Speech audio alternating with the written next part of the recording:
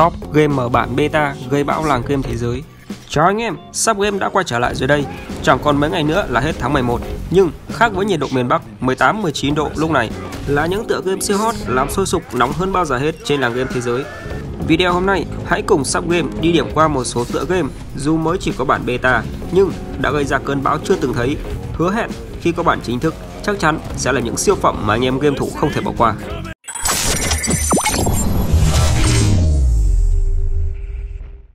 Game mobile bắn súng góc nhìn thứ nhất, sắp game muốn giới thiệu với chủ đề zombie nhưng vẫn hội tụ đầy đủ yếu tố bắn súng, sinh tồn, phòng thủ do Klee Game Inc. phát hành với cái tên Zombie Hunter D-Day 2. Đây là phần thứ hai của tựa game rất được yêu thích Zombie Hunter D-Day. Đầu tiên phải nói, dung lượng game rất chi là nhẹ, chỉ khoảng hơn 200 MB nhưng game vẫn sở hữu nền đồ họa 3D chân thực, trông khá là ổn với những hình ảnh thây ma đáng sợ, dữ tợn, máu me, cực kỳ chân thực cùng với hiệu ứng âm thanh sống động mà một tựa game zombie vẫn thường có. Nói đi thì cũng phải nói lại, trong những tựa game zombie offline thì Zombie Hunter có thể là một game săn bắn và bắn tỉa gây nghiện nhất. Giống như Free Fire, bước vào game là hành động ngay lập tức. Nhiệm vụ chính của anh em là sử dụng các kỹ năng bắn súng chết chơi như mời anh cao bổi để dọn sạch lũ zombie khát máu. Yên tâm là trong game sẽ có tới 13 khẩu súng khác nhau để chọn lựa và được chia phẩm chất từ F cho đến e SSS và nó cũng vẫn như những khẩu súng quen thuộc của dân bắn súng như AK-47, SCAR, M416, M870, F16, vân vân. Có một điều đặc biệt là muốn có súng xịn thì phải làm nhiệm vụ để mở khóa. Vậy thì chẳng có lý do gì mà chần chừ mãi một con shotgun trong quả quá trình chơi phải không nào? Hãy chọn những khẩu súng hiệu quả và mạnh mẽ nhất để bắn hạ lũ thầy ma đi. Anh em yên tâm là với Zombie Hunter D-Day 2 sẽ không cần phải vừa cong đít chạy vừa bắn mà thay vào đó Nhiệm vụ của anh em là sẽ cố thủ một chỗ và sử dụng tài thiện xạ của mình để tiêu diệt hết từng đợt zombie. Yên tâm hơn là thao tác điều khiển đã được nhà phát triển làm game đơn giản và tối ưu nhất có thể nên lỡ kỹ năng có cùi bắp một chút thì cũng chẳng sao cả. Ngoài chế độ chơi kịch bản ra thì game còn có chế độ tặng kèm người chơi tham gia và nhận tiền thưởng. Nhìn chung, Zombie Hunter D-Day 2 có lối chơi khá đơn giản với đồ họa tương đối ổn, rất đáng để trải nghiệm. Thứ hai là tựa game đến từ ông lớn Tencent với cái tên Arena Breakout. Sau khi cho ra mắt Arena Breakout tại thị trường Trung Quốc, Tencent Game đã sẵn sàng cho việc tung ra thị trường game quốc tế tựa game chất chơi này. Với cái tên Arena Breakout hay còn được gọi là ông khu đột vi là một trò chơi bắn súng hạng nặng và có độ chân thực cao. Trải nghiệm chiến trường nhập vai bắn súng FPS đầy sáng tạo, đảm bảo nhiều anh em vẫn chưa trải nghiệm qua. Vì muốn tải được game thì phải chuyển vùng sang anh bạn Philippines thì mới tải được từ Google Play.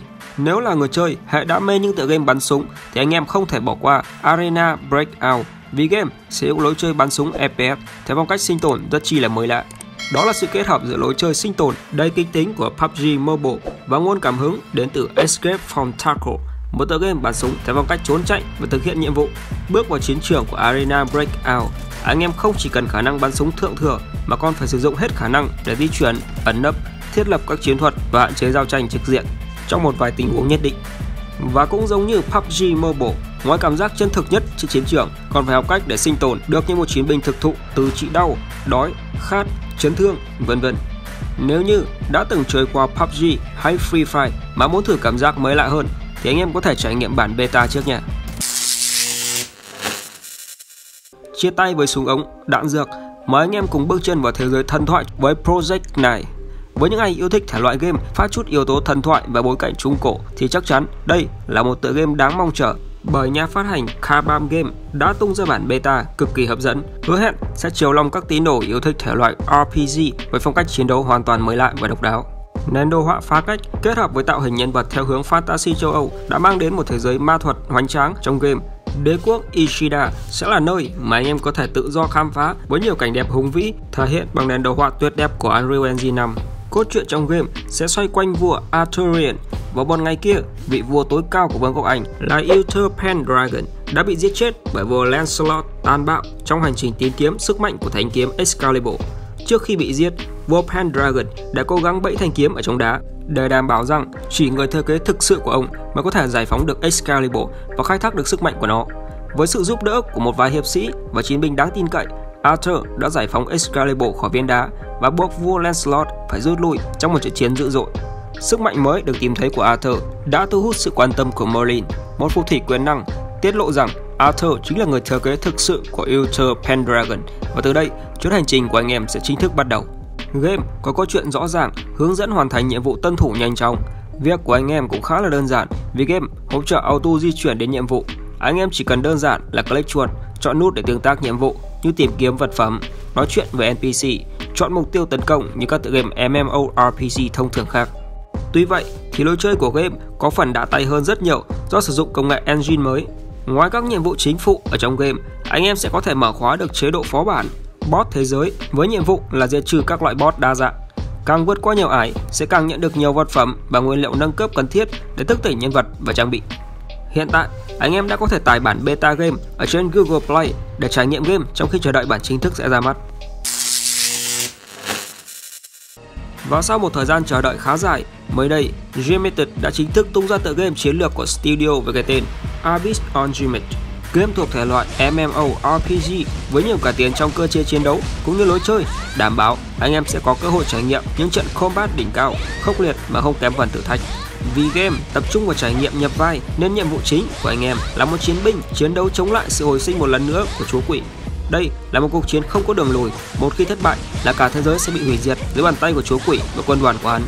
Nghe thì cũng easy đấy, nhưng khi trải nghiệm thực tế thì game cũng khá là tốn thời gian và công sức. Cũng như nhiều tựa game nhập vai khác, Abyss Unlimited cho phép tạo hình nhân vật ngay từ khi mới vào game. Tuy nhiên thì các lựa chọn khá là hạn chế vì chỉ có 4 nhân vật là nữ và một nhân vật nam. Bù lại, nhà phát triển game rất đầu tư vào dàn quái vật đông đảo, phong phú từ giống loài đến cả ngoại hình.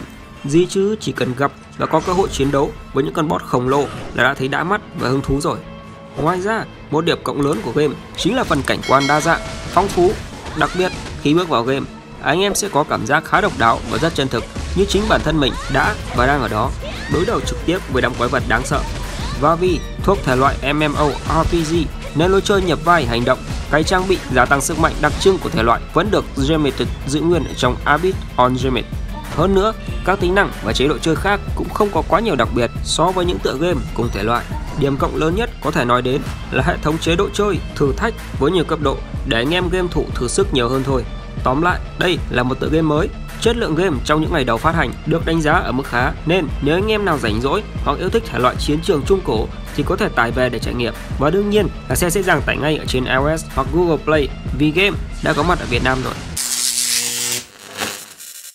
Anh em thân mến, vào ngày 9 tháng 11 vừa rồi, nhà phát hành EA Game đã chính thức đưa ra một thông báo bản Open Beta của Battlefield Mobile. Hiện tại, Battlefield Mobile đã được phép tải trên các thiết bị sử dụng hệ điều hành Android. Game đang có sẵn tại CH Play và được rất nhiều game thủ háo hức tải về để trải nghiệm tựa game Battlefield đình đám một thời ở trên PC. Battlefield Mobile là phiên bản game được truyền thể với đàn anh PC cùng tên là Battlefield. Game mang bối cảnh sinh tồn, chiến tranh bắn súng ở thời điểm tương lai, nơi mà loài người bắt đầu bùng nổ những cuộc chiến tranh tàn khốc với lũ robot hiện đại. Battlefield Mobile sở hữu hệ thống đồ họa 3D cực khủng với hàng loạt góc nhìn bắn súng cực kỳ mãn nhãn. Hơn hết, hệ thống nhân vật ở trong game cũng sẽ được tự do tùy chỉnh hình dáng, màu tóc, khuôn mặt sao cho đúng với sở thích của anh em game thủ. Tuy mang hệ thống đồ họa đặc sắc, chi tiết là vậy, nhưng thực tế là Battlefield Mobile lại thích hợp với nhiều điện thoại cấu hình tầm trung hiện nay nên anh em không cần phải lo lắng đến khoản sắm điện thoại xịn sò hay chơi sẽ bị giật lag do máy yếu. Đây là một tựa game mobile bắn súng có chủ đề quân sự.